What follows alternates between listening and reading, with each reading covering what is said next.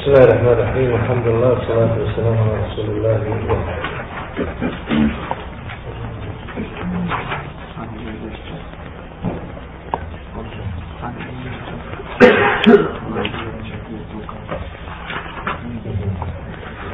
Sad ćemo ako možda znaš, uzeti akidu prvi put ili ne veoma bitno. Mi smo rekli uz Allahu pomoć da ćemo se družiti sa jednim dijelom koji je uistinu već preko hiljadu i dvijesta godina popularno. Dijelo koje su proučavali, proučavali generacije muslimana još živio, živio u trećem i četvrtom vijeku Imam Tahavi. Od tada sve pa do danas ljudi izučavaju i uče baš knjigu. Imam Tahavi bio je jedan od velikih imama Hanefijskog mezera. I bio je, što je rijetkost među učenjacima Hanefijskog mezera, veliki muhadis. On je, njega su zamolili na ime učenjaci Hanefijskog mezera u njegovom vremenu koji su živjeli, da im napiše hadijska djela koja potkrepljuju mišljenja Hanefijskog mezera. I on je zbilja napisao na tom polju e, djela na prosjenjuje važnosti koja su oštampala danas i koje se proučavaju, ali nas interesuje ovo akajetsko djelo gdje on u početku kaže htio sam ukratko napisati u što su vjerovali imam Ebu Hanife i njegovi učenici Ebu Jusuf i drugi koji su bili njemu bliski u njegovom vremenu i prenijeli njegovo znanje. Znači, on govori u principu to, međutim, učenjaci su kasnije uzeli i vidjeli da je upravo to ono vjerovanje što je donio poslanik sallallahu alaihi wa sallam i u što su vjerovali ashabi i prve generacije tabina i tabi tabina. Mi ćemo ići po tim tačkama koje je on i sumnjivost. Pa prva tačka on kaže na kulu fi tawhidu Allahi wa taqidina bi tawfiku Allah inna Allaha vahidu ma šarike lah. Kažemo o tawhidu uz Allahovu pomoć vjerujući da je Allah jedan i da nema suparnika. Kažemo o tawhidu da je Allah jedan i da nema suparnika. Šta je tevhid?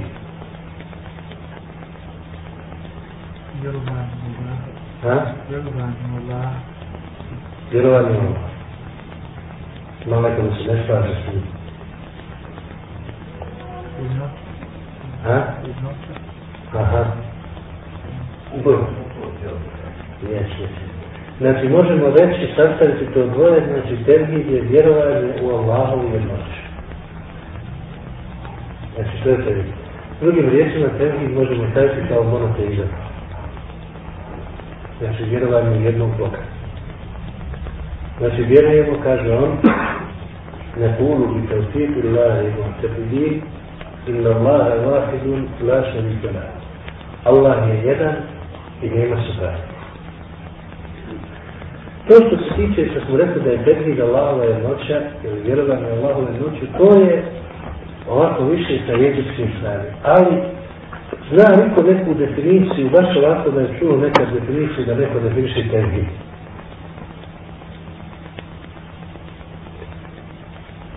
Ili monoteizam. Jeste čuli nekad definiciju?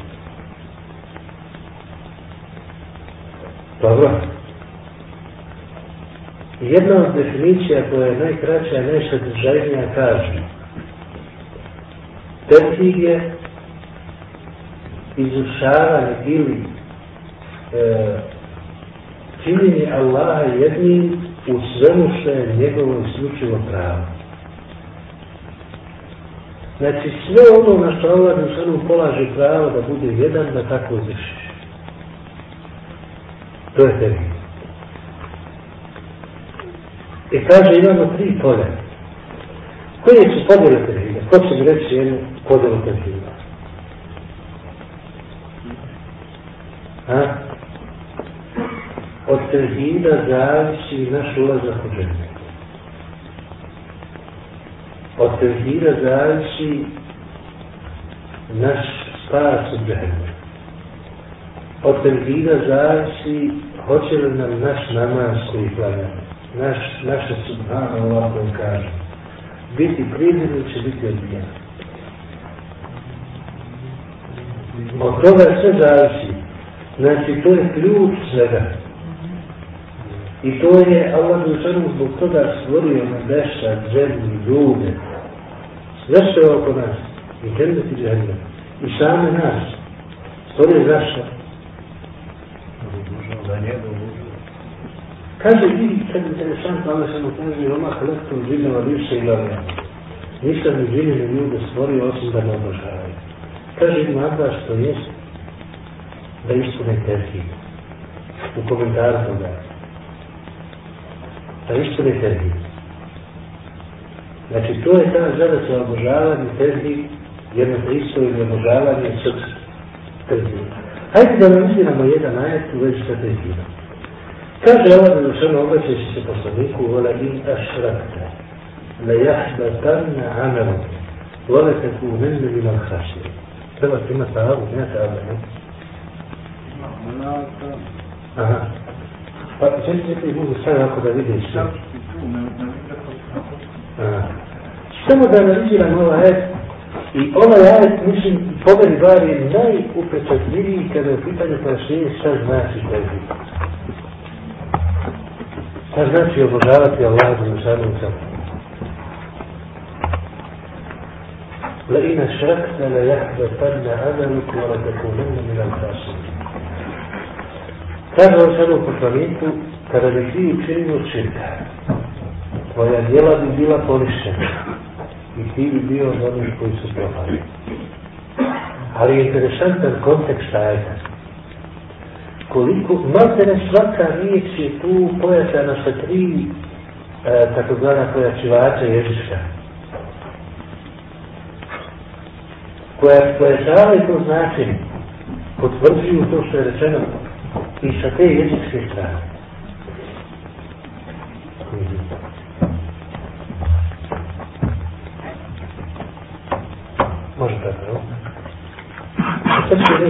Ne izvijete, ne znam žene, se čuti, ali ne, ali čuti.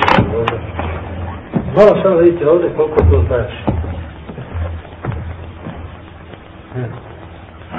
Meni je žao što nismo malo bolje opremljeni pa da imamo slike, ilustracije i ostalo, ali ne poslužit će i ovako.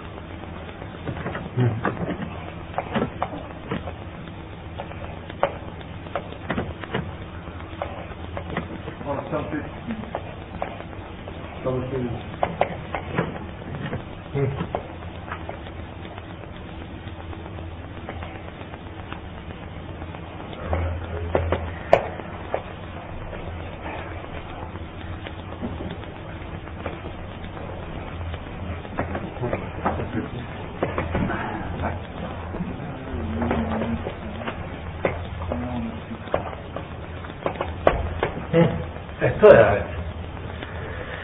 Pa ću vam pokušati udočarati kako to ide. Le in ašrekte.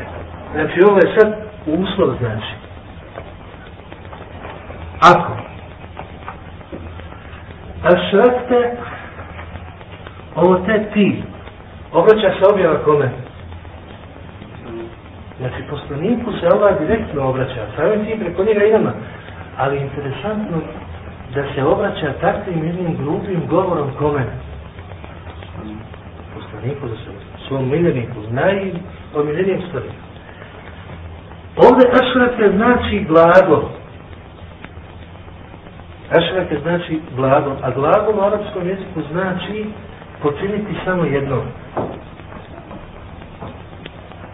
Imenica znači konstantno, znači stalno se nešto čini. Kad glagol dođe znači učinjeno je jedno. Što bi značilo da ajet kaže, ako bi jednom počinio širk, samo jedno, jednim djelom, veliki širk, le jahda tamne amaluk. Ovo le ovdje je potvrda. Ovo Ovo N ovdje je tvrda potvrda tako zvana. Druga potvrda. Kažu učenjaci kad se nađe ove dvije potvrde, podrazumijeva se zakletva koja se ne spominje. Pa kao da Allah kaže, sigurno, tako mi tvoga gospodara, znaj da bi ti djela bila poništena. Ovaj samo glagol je pojačan sa koliko stvari? Sa troje. Sa slovom lan koji znači potvrdu, sa slovom nun koji znači potvrdu i sa zamišljenom zakljetom koja inače u jeziku znači potvrdu. Vejahbetan. Ameluk. Veća riječ. Amel što znači amel? Amel znači dijelo. Obuhvata i riječi i postupke. Došlo je ovdje tvoje, znači čije? Poslanikovo za se.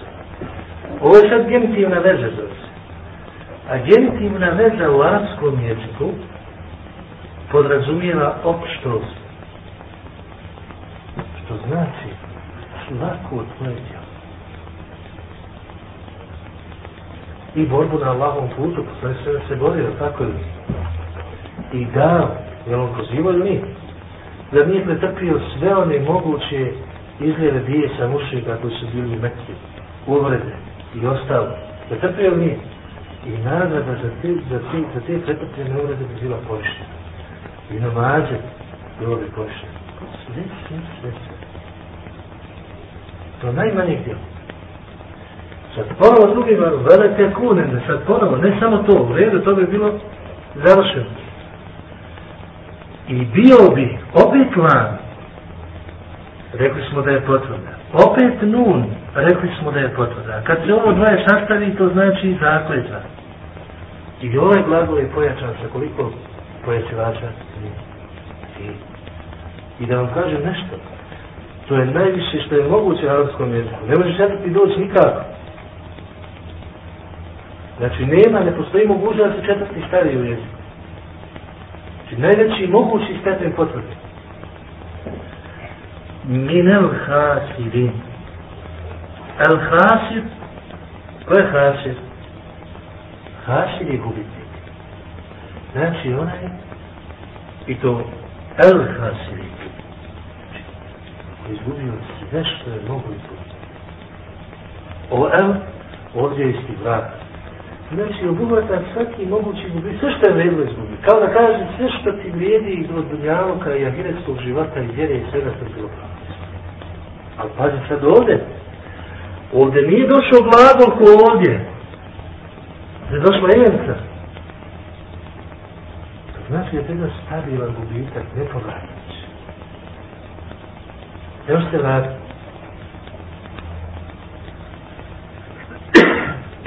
vidite samo iz ovog jednog ajeta koliko je širk opasan. Allah svom poslaniku kaže samo za jedno djelo da počinje širk. Da bi se ovo bilo. Zatim se potvrđuje da bi mu sva djela bila poništena. Potom mu kaže da bi bio gubitnik da ga nema veći. Svako obavještenje poslanika odnosi se na nas, ako nije rečeno znači. Ovdje normalno da nije ovdje. Ovdje je čudno što je sad obraća se poslaniku ovim, a zna se da je poslanik zaštićen od širka. Ali kaže, eto ono ženu, kad bi tako bio ti koji su na tom stepenu tako bi šta nas nama? Sad ćemo mi doći šta je širk. Znači, smo mi vidjeli šta je opasno širka. Je to opasno? Tu učini u džehennem će to postoje, to... Nismo još došli do toga. Znači sad radimo ovdje, mi smo iz ovoga nam čin da vidimo koliko je, kolika je opasno širka, drugim riječima da vidimo koliko je važan tevhid. To jest vjerovanje u Allahu jednoću onako kako je on to Pa da vidimo mi sad kako je to Allah Đelešanu htio od nas da vjerujemo i vjerujemo i znači. Se sastavi sad da dođete i pitate ljude i kažete vjeruješ li u Boga, vjeruješ, vjeruješ da je Bog jedan, vjerujem, čak su brojne vjere svjetske, ako gledate recimo enciklopedije religija i ostalo, znači računaju se u monoteističke vjere. Znači deklarišuju se kao monoteističke vjere. Znači vjere koje obožavaju jednog Boga. Ali kako? Pa ko će meni reći šta to naši učenjaci kažu da je tehnik Šta to oko razumije?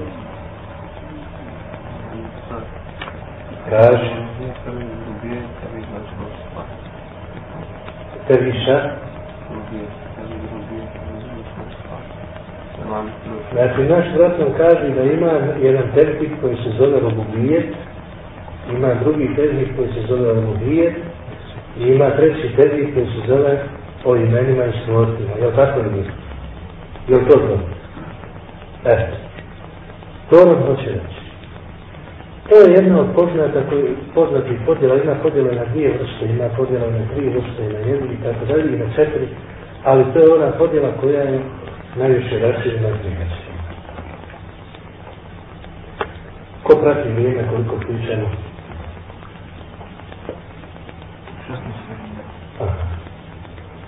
Dobro. Znači, mi imamo sad termin dubije, termin dubije, termin stvari. Ko će nam reći šta je termin dubije?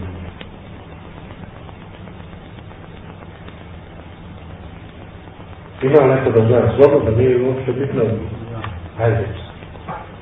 Znači da Allah jedini stvorac svega i da on upravlja sa svim Aha.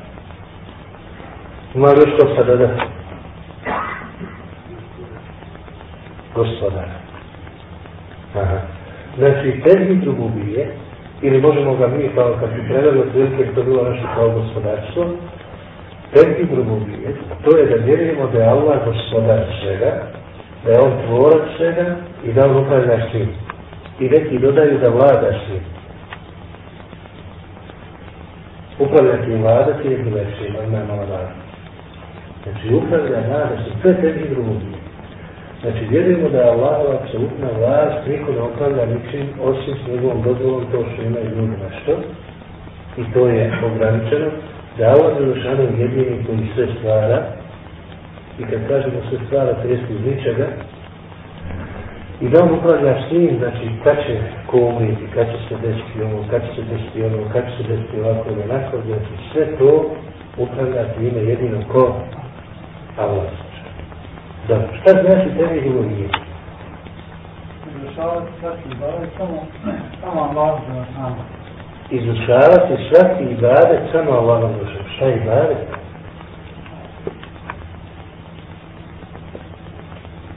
Znači neki tebi iluzije zovu tebi ibadeta. Šta je ibadet? Je ono što za naredio da se radi ili izbjeravanje ono što ga brani. To je jedna definicija koju je definisao i Kešnik Zida na svom tefsiru i kaže tako. Druga definicija postoji koju je definisao i kaže to je sve ono što Allah Žešano voli, što je zadovoljno od riječih dijela javnih tajna. I to je šta? Ibadet.